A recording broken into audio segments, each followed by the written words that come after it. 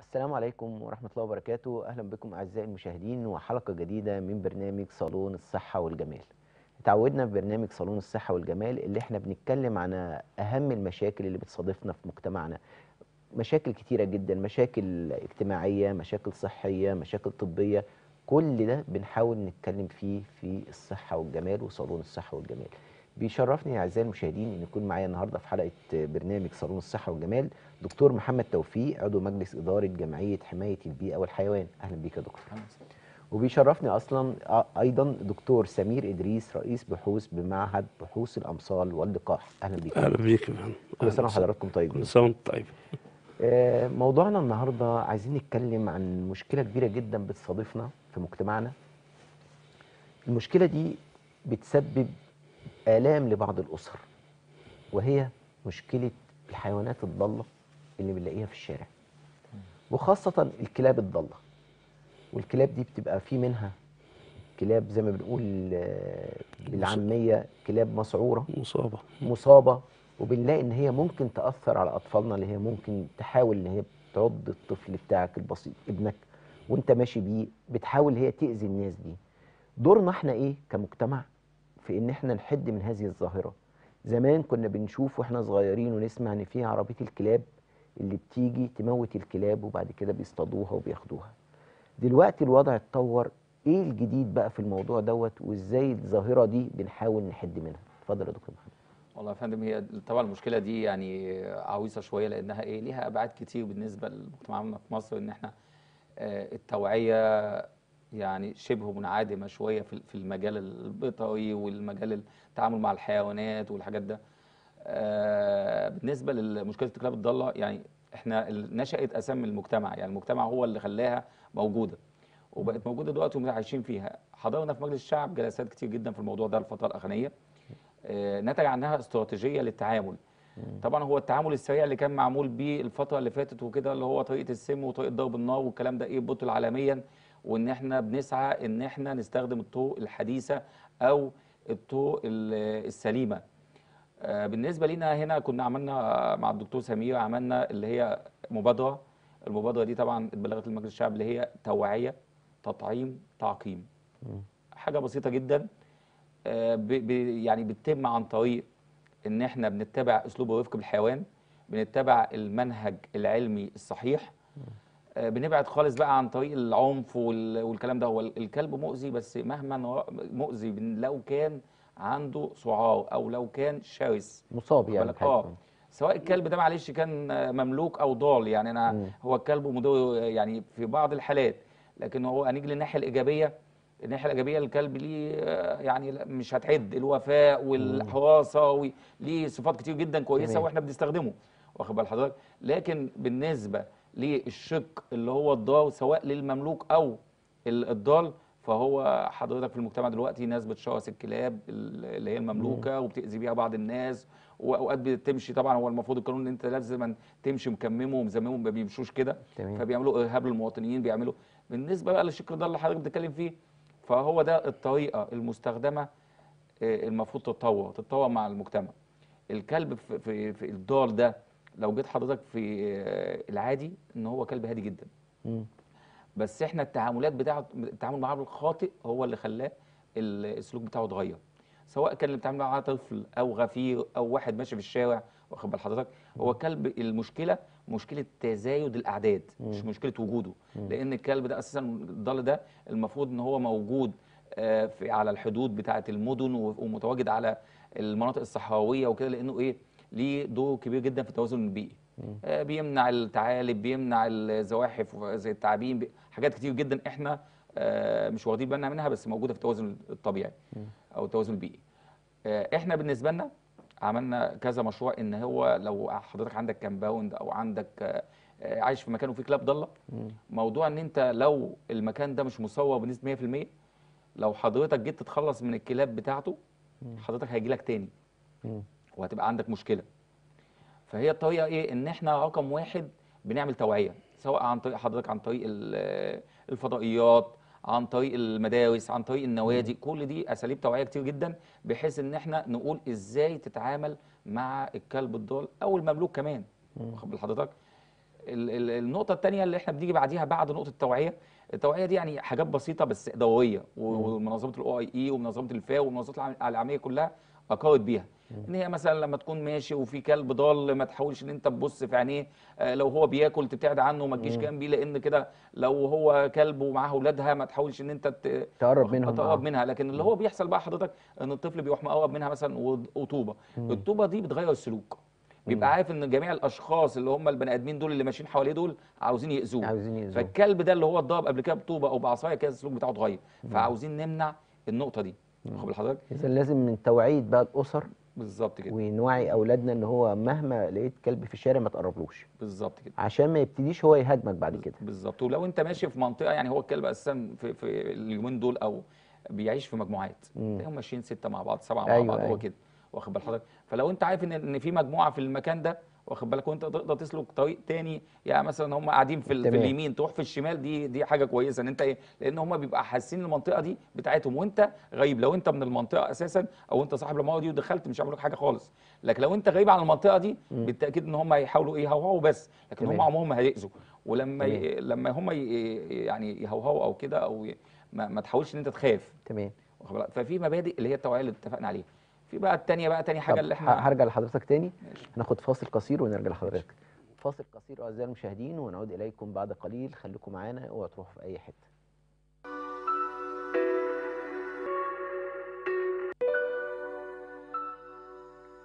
رجعنا لكم تاني أعزائي المشاهدين بعد الفاصل وبيشرفني يكون معايا الاستاذ دكتور سمير إدريس رئيس بحوث بمعهد بحوث الأمصار أهلا بيك يا دكتور أهلا بيك يا أستاذ دكتور قبل؟ الفاصل كنا بنتكلم مع دكتور محمد توفيق عن الأمراض اللي ممكن تسببها الكلاب الضالة في الشارع والحيوانات عموما آه. في الشارع دور حضرتك رئيس بحوث بمعهد بحوث لله.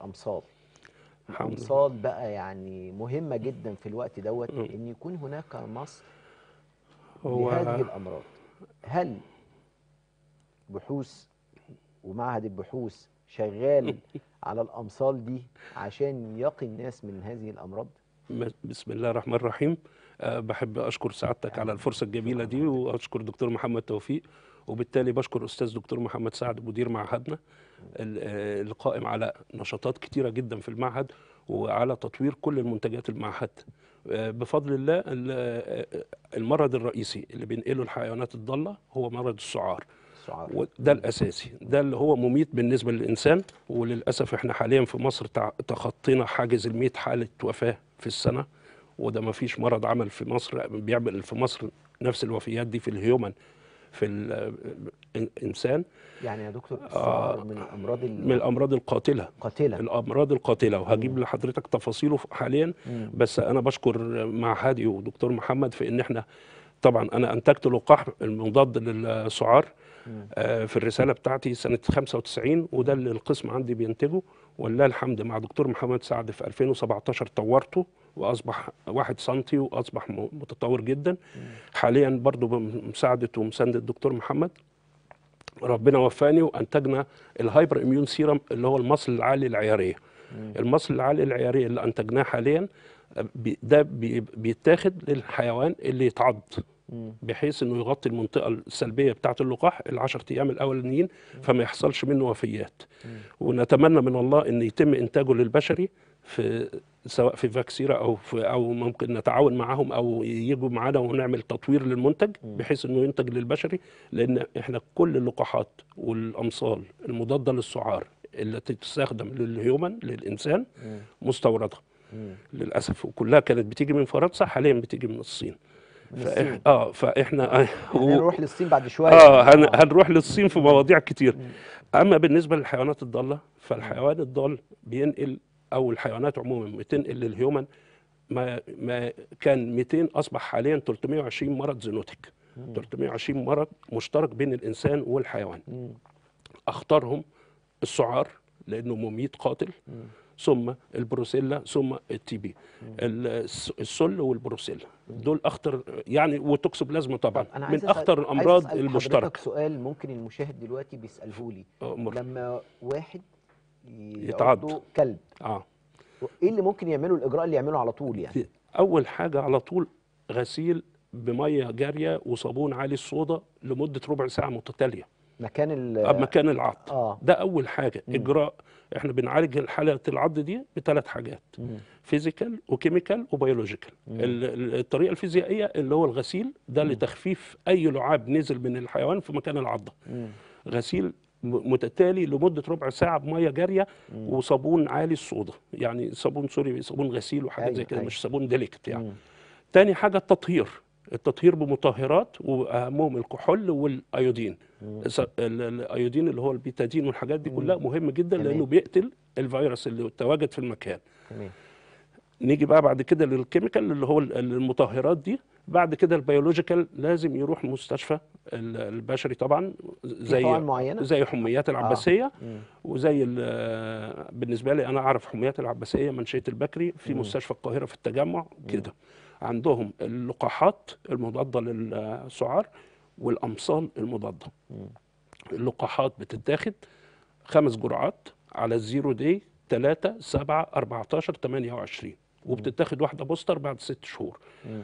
الأمصال اللي هو المصل عالي العيارية وحاليا ما شاء الله يعني في وزارة الصحة وفروا ال pure immunoglobulin اللي هو ال immunoglobulin النقي وده أعلى من الأمصال شوية بس برضه مستورد مم. أتمنى من الله إن يسمحوا لنا إن إحنا ننتجه بشري يعني آه, آه يا إحنا والله أنا حاولت ليه, ليه إحنا أنا حاولت من سنة ناخد 95 المبادرة؟ من ساعة ما خدت آه. الدكتوراه ورحت مصر واللقاح للإنتاج البشري بس آه، ربنا يديله الصحة دكتور رفقي الأرماني سابنا وسافر بقى ساعتها. فالمشروع وقف فبنحاول إن شاء الله ننتجه بشري وننتج الأمصال اللقاح ال- ال- المضاده برضه بشري المصل بيتاخد في الحالات الخطيرة اللي هي العضة ما فوق الكتف مم. العضة ما فوق الكتف لأن أصلا الفيروس بيمشي في العصب مم. فلما بيمشي في العصب محتاج مجرد إنه يوصل لل- للمخ للمخ آه. بيبقى مميت مم. مجرد ظهرت الأعراض مفيش أي علاج مم. إنما الحمد لله إن هو الفيروس الوحيد اللي ممكن يتع... يتعالج بعد العض يتعالج بعد العض آه إن إحنا نحقن الخمس جرعات ونحقن حوالين الجرح ال local infiltration بال hyperimmune serum. ونص الجرعة نديها intramuscular ما بين العضة وما بين العصب. بحيث إن نوصل لوقاية تامة لو لحقنا الحالة هنرجع لحضرتك بعض. الحالات الخطيرة بقى بتبقى ليها تفاصيل تانية. ربنا يسترها وإن شاء الله نبقى إحنا متطورين في إنتاج اللقاح أنا بس بنصح بس بكل من اتعض أو. اتخربش أو اتعرض لحيوان ضال غير معروف مم. لازم يتعامل بالطريقة دي. تمام. ما يهملش. دي إرشادات مهمة جدا. أنا عندي آه. حالات إهمال كتير جدا طبعاً، وحصل لا قدر الله وتوفت. لا توفت. هرجع لحضرتك تاني وهنروح الصين مع بعض. بس شاء الله. لدكتور محمد توفيق. دكتور محمد دكتور محمد.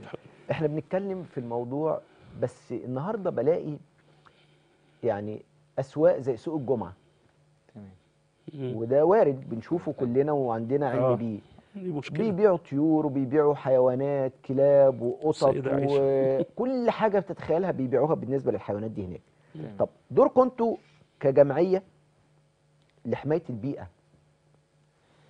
إيه الدور اللي ممكن تقوموا بيه مع الأسواق ديت ولا أنتوا ما بتتقربوش للناحية دي خالص وما بتنزلوش المنطقة دي خالص على أساس يبقى في توعية حتى للي جاي يبيع الحيوان بتاعه أو اللي جاي يشتري؟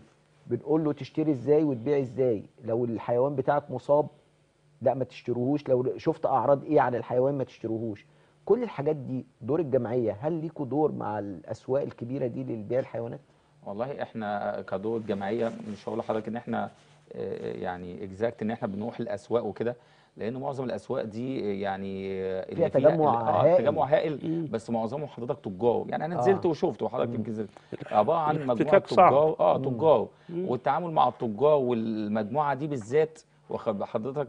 محتاج جهة حكومية آه ومعاها جهة شرطة جهة؟ تنفيذية آه آه بالظبط آه. لكن جهة آه، تطوعية أو حاجة تطوعي أو جمعية خيرية ده صعب مم. لكن إحنا كده دورنا إيه دورنا ارشادي مثلا إحنا بنعمل مؤتمرات بنعمل ندوات واخد بال حضرتك بندخل المدارس الابتدائي لأن يمكن أستاذنا دكتور سمير عارف إن هي معظم حالات العض بتحصل الأطفال. بنسبة مم. مثلا 40% أو أو أو أكتر. في الأطفال دون ال 14 سنة مم. يعني بمعنى أصح اللي هم إيه في المدارس الابتدائي مم. واخد بال حضرتك فعشان كده بنهتم بالفئة دي كويس جدا. واخد بال حضرتك؟ فبنحاول إن إحنا نعمل بروتوكول مع التربيه والتعليم إن إحنا ندخل حاجة توعية حاجة وفق بالحيوان في الجزء ده وتعاملات مع الحيوانات الأليفة عموما. سواء كان في المنزل لأن هو برضه حضرتك في المنزل لازم برضه ليه احتياطات. مم. لازم ياخد تحصيناته كاملة. مم. اللي كلب في البيت ده. لازم إلزامي ياخد تحصين سعار آه. واخد بالك لأن آه، طبعا في حالات بتحصل مش لازم يكون كلب ضار أيوه موضوع حماية. السعار. مش لازم كلب ده اللي عضك ممكن أيوة. يكون كلب أنت مربيه في المنزل آه. وبيهزر معاك وعضك وأنت مش واخد في بالك. واخد بالك ويحصل آه المشكلة. والناس بتجيلي بقى تقول لي دي إيه حصلت أنا- حالات منهم. آه ده أنا الكلب مربيه في البيت وما بنزلوش الشارع ومتعقم و100 100 مم. فكروا إن هو الفيروس مش هيجيله كده لا ده الفيروس آه، في الهواء تمام. واخد بال حضرتك طيب أنا بس هرجع للساده المشاهدين واقول لكم يا جماعة اللي عنده اي استفسار إحنا في ارقام هتنزل على الشاشه. اللي عنده اي استفسار اللي مربي حيوان اللي عايز يستفسر معانا الدكتور محمد والدكتور آه، سمير نسألهم ونشوف الامثال الحاجات اللي إحنا عاوزينها إيه نستغل فرصة وجودهم معانا النهارده. واللي عنده اي استفسار يتفضل معانا. دكتور سمير إحنا في الشتاء وحضرتك عارف إن أمراض الشتاء كتيرة. جدا. والشتاء دي لازم نتحصن ليها آه عشان الفيروسات اللي بتبقى موجودة في الجو والأمراض اللي بتظهر في الشتاء النهاردة في هاجس عندنا وعند العالم كله. كورونا كورونا هو الهاجس آه. أو الفيروس اللي خلى العالم كله. ينتفض آه دلوقتي أنا كورونا بؤرة الفيروس في الصين أيوه والصين زي ما بنشوف على. ال social media كلها أعداد رهيبة جدا. آه. ولكن أنا بلاحظ في الفيديوهات اللي بنشوفها في الصين إن هم عندهم أسواق لبيع الكلاب وأكلها الضفادع وأكلها ال ال ال الخفافيش هي دي آه. آه. م- خفافيش والضفادع والخفافيش وال- والضفادع. طب هناخد دكتوره إيمان وأرجع لحضرتك. آه، أهلا وسهلا. معانا دكتورة إيمان مرزوق. أيوه السلام عليكم. عليكم السلام. إزيك يا السلام. أهلا وسهلا كل سنة. وحضرتك طيبة. وحضرتك طيب وضيوفك الكرام في احسن حال بإذن الله. دكتور. آه، انت مقيمة في السعودية. تمام. تمام. أخبار آه، فيروس كورونا إيه في العالم كله والعالم العربي عموما يعني؟ وفي آسيا. تمام. حضرتك لسه كنت بتتكلم على إن في هلع دلوقتي عن فيروس الكورونا عالميا. لأن طبعا العالم كله يونت واحدة أو قطعة واحدة سهل جدا انتشار الأمراض فيها بمنتهى البساطة فلو ما كناش مستعدين وبندرس المشاكل الموجودة عالميا أكيد مش هنقدر إن إحنا نحمي نفسنا محليا أو داخليا أو في بلادنا العربية سواء في السعودية أو مصر. أو أي دولة من لسه الحمد لله ما ظهرش فيها حالات يعني.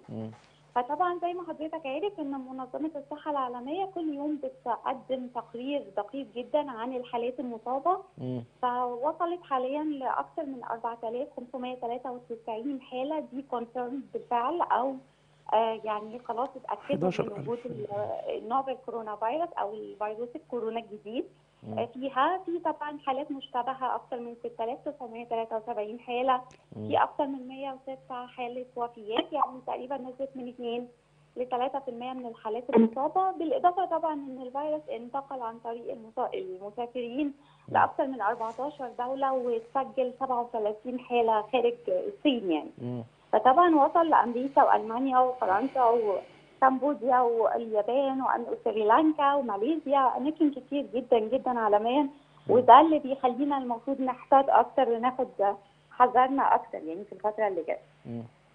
دكتور أنا معايا دكتور سمير إدريس رئيس بمعهد بحوث رئيس ال- رئيس بحوث. رئيس بحوث بمعهد الامصال أنا عايزك تتواصلي معايا يا دكتور بحيث إن إحنا يعني أنتوا انت دكتورة أصلا في الفيروسات ودكتور في الأمصال. إيه التوافق اللي ممكن يتم بين الدكاترة بتوعت بتاعنا بتاعتنا في مصر والسعودية إن هم يحاولوا يجدوا حل للموضوع دوت؟ اتفضلي معاكي دكتور آه، سمير إدريس. أهلا وسهلا أهلا. يا دكتور. أهلا يا دكتورة. ازي سعادتك؟ أهلا أنا بالفعل تع- تعاونت مع معهد الامصال آه. أثناء دراستي الدكتوراه في ألمانيا وكنت أخذت منكم بعض ال- المواد يعني. إحنا المعهد عندنا دايما متعاون مع كافة الباحثين وبقيادة الدكتور محمد سعد متعاون مع كافة الأجهزة والجهات العلمية ولله الحمد بنشتغل على كافة أنواع الفيروسات بس أكيد.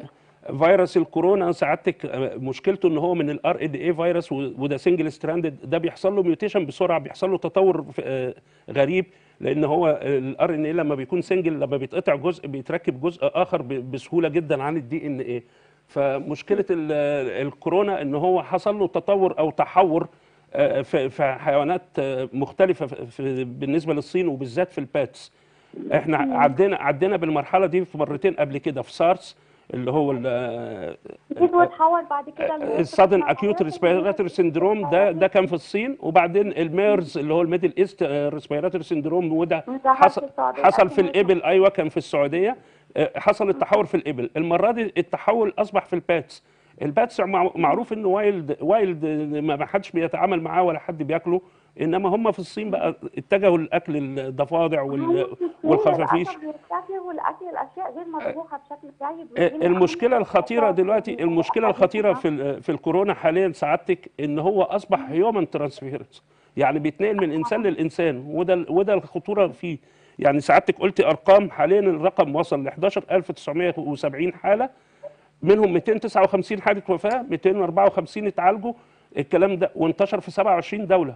فأصبح الرقم خطير جدا و WHO رفعت حالة الاستعداد لأعلى مستوى حاليا ويعني يعني رفعوه لدرجة الجائحة جائحة وبائية. فنتعشم من الله إن بلادنا العربية يعني يعملوا احتياطاتهم الكاف يعني بكافة الطرق وأنا أسمع إن السعودية ما شاء الله بعتوا طيارات مجهزة لل لمنسوبيها هو عموما يا دكتور هو بيكون سلوك بشري في الأساس يعني إحنا أيوة، إيه سلوك بشري بقى. كونسبت أو مفهوم إن آه. الناس إزاي تتعامل كاحتياطات بسيطة تقدر تقوم بيها بنفسها بعيدا عن سياسات الحكومات أو الدول هو بمنتهى البساطة لو اتبعنا ال- الطرق الصحية أو hygienic measurement إن إحنا نغسل إيدينا بانتظام سواء بالمية والصابون لمدة 20 ثانية. ميه إن وصابون إحنا مثلا نستخدم أي مطهر فيه بيحتوي على ألكحول أو بيحتوي على كحول. ونبعد عن التجمعات.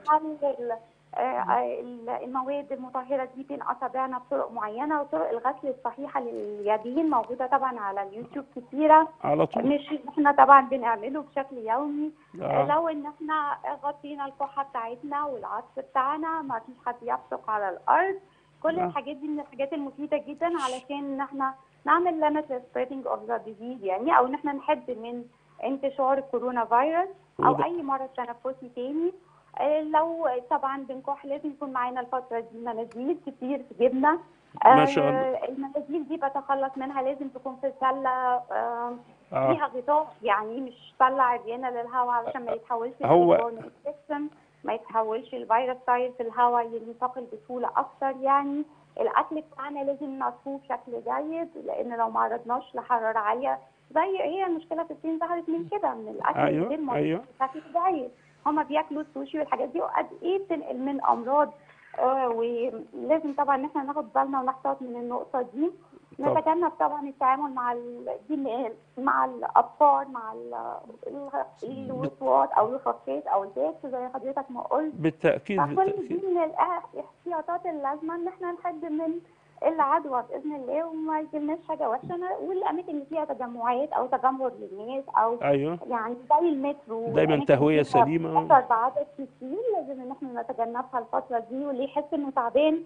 يقعد في البيت وما يختلطش بحد. حتى ال- تمام. ال toilet أو ال bathrooms لازم إنه لو في فرصة إني ما أشتركش مع أهل البيت في نفس الحمام ده يكون أفضل كتير. ما نستخدمش نفس الأدوات الفوط ال- الكوبايات الأطباق. الفترة دي مش لازم ابدا إن إحنا نتشارك آه.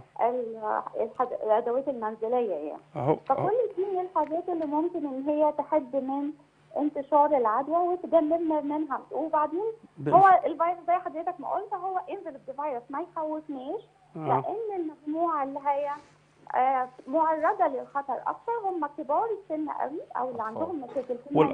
أو امراض مستعصيه والأطفال الصغيرين قوي لأن الجهاز المناعي انفلد أو لسه ما اكتملش بشكل آه، هو ما يعني. ما دون الخمسة وما فوق ال 65 ما- بس حضرتك رجعتينا للأساسيات اللي هو ال- ال- السلوك الإنساني. زي ما الدكتور محمد توفيق آه، اتفضل في الأول يبقى هو السلوك الإنساني بيسيطر على علاقة الإنسان مع كافة الأمراض وكافة ال- الحيوانات حتى الحيوانات الضالة. لأن السلوك الإنساني برضه في في انتشار هو خطورة المرض الجديد إيه؟ إن انتشاره سريع جدا لأنه respiratory disease مش محتاج. آه مش محتاج لا نقل دم ولا حقن ولا حاجات زي كده بمجرد التنفس أو بمجرد آه، sorry عطس أو كحة. المنطقة أصبحت موبوءه فزي ما سعادتك قلتي إحنا نبعد عن الأماكن الزحمة نتعامل مع التطهير الذاتي غسيل وطبعا ارتداء الماسكات ولكن طبعا نوعية معينة ال N 95 ده. افضل نوع من الماسكات اللي ممكن إن هي تحد من وصول الفيروس لينا من المس أيوة. أنفنا أو أو الفم بتاعنا أو أعيننا بعد العطس أو بعد الكحة يكون في مسافه آمنة بيننا وبين ال- الأشخاص اللي ممكن يكون بيعطسوا أو بيكحوا على الأقل ما يكونش في يعني ما في- يكونش في شخص آه. آخر في الفترة دي. دكتورة أيوة. إيمان أنا ب... أنا بشكرك يا دكتور. أنا ألف بشكرك آه، نورتينا بالمعلومات الغزيرة اللي عند حضرتك ونتمنى إن شاء الله ما تنزلي مصر بقى إن شاء الله تكوني شاء معانا الله. في حلقة بإذن الله. شكرا ليك يا دكتور إيمان. شكرا يا فندم. ألف شكر يا دكتور إيمان. ألف شكر على مداخلة سعادتك. شاكرين ربنا يوفقك. دكتور إحنا. خدنا بعض المعلومات الغزيرة من آه، دكتور إيمان آه، يعني إحنا قدامنا. خمس دقائق بس آه، عايزين نقول في. الخمس دقائق دول أهم النصايح اللي ممكن نديها للشعب آه. المصري أو لكل اللي بيشوفنا نقول له يعمل إيه بالنسبة للكورونا للكورونا والجميع الفيروسات يعني مش أنا أنا أنا بحذره بقول له آه، إيه آه. في الشتاء يعمل إيه بالذات ياخد بس. إيه يشرب إيه ياكل إيه طبعا كل إحنا في. الشتاء. كانت مشكلتنا الأساسية الأنفلونزا. وكان في ليها تطعيم سنوي بيتغير سنويا لأن العترات بتتغير وبيتاخد في شهر 9 أو 10 قبل شهر 11 بحيث إن خلال الموسم يكون عند سعادتك المناعة الكافية حتى لو جه الدور بي- بيبقى جاي بأعراض أخف وأقل. حاليا مشكلتنا أصبحت في الكورونا. الكورونا ده آه، مش هنقلق منه دلوقتي لأن إحنا مش direct contact معاه. هو آه، درجات ال- الاحتياط فيه ثلاث درجات. لو أنت عندك حالات أو لو انت احتكيت بحالات أو لو أنت بعيد خالص مم. وده اللي إحنا فيه حاليا. فال biosafety وال biosecurity أو الأمان الحيوي والأمان الشخصي يطبق على أعلى مستوى إن إحنا ما نقعدش في أماكن زحمة مش حمام مترو اللي, والحاجات اللي بيكح sorry. آه. الكح بيعمل احتياطاته وبيغطي وبتاع. وكلام من ده ممنوع البصق زي ما الدكتورة إيمان قالت غسيل الإيد باستمرار مية وصابون في. مطهرات اليد دي باستمرار نستعملها ال mask والجوانتي والحاجات دي كلها في ال direct contact يعني لو قربنا من حد بيكح. حتى دلوقتي بيكح بس. مم. أو عنده أعراض أنفلونزا. حتى ناخد بالنا. مم. الخطورة في المرض لو جه في ال immunosuppressant يعني لو جه في حالات آه، مناعتها ضعيفة. آه. سواء بقى عنده مرض أو عنده أمراض مزمنة زي الضغط والسكر وال آه. آه، يخلي باله يبقى عنده احتياط غسيل كلى بالذات لو عنده مشاكل في الكبد ال- ده بيبقى المناعة عنده بتبقى ضعيفة شوية. فيخلي باله جدا جدا من الاماكن التنفسيه دي تمام. ما يحتكش بال بال طيب أنا بس عايز هروح للدكتور محمد وهرجع لحضرتك في نص في. مرض السعار. بس نقطة دكتور كمان محمد في نص دقيقة هتقول لي أهم ال- الوصايا للي بيشتري حيوان كلب أو قطة أو الحاجات دي نقول له يعمل إيه ويخلي باله إزاي هو أول حاجة طبعا إن هو الحيوان اللي بيشتري ده سواء كان كلب أو قطة إن هو يبقى alert puppy آه، يعني الحيويه فيه عادية. vitality عالية. واخد بال حضرتك؟ آه طبعا هو كنظريا كده مش هيقدر يحكم عليه قوي فهو أول خطوة بيعملها بعد ما هو الكلب بيعجبه ظاهريا كده واخد بالك؟ الجلد بتاعه كويس بيلمع عينيه بتلمع مفيش دموع مفيش أي افرازات من الأنف مفيش افرازات من العين الجلد ما فيهوش أي حشرات الحاجات الخارجية دي لازم ياخدوا أول حاجة يروح لأقرب دكتور بيطري لعيادة حيوانات بحيث إن هو يكشف عليه وياخد التطعيمات بتاعته. لأن هي أهم حاجة هي التطعيمات وزي ما قلنا إن اخطر حاجة مرض السعار فهو بيبدأ بمرض السعار ان هو بيعمل له شهادته بيبقى ليه شهادة. رخصته آه الحاجات بقى النظافة الشخصية اللي هي مثلا أنا هتعامل مع كلب في البيت لازما إن أنا كل ما أتعامل مع الكلب ده المفروض إن أنا بغسل إيديا وكده. لأن امراض المنتقلة طيب. بين الإنسان دكتور سمير. في 10 ثواني النصيحة اللي عايز تقولها بالنسبة للسعار السعار مرض خطير جدا مم. بيعمل وفيات في مصر عالية جدا مسجلة في المستشفيات فنرجو نرجو نرجو السيطرة عليه بتتم من حاجتين.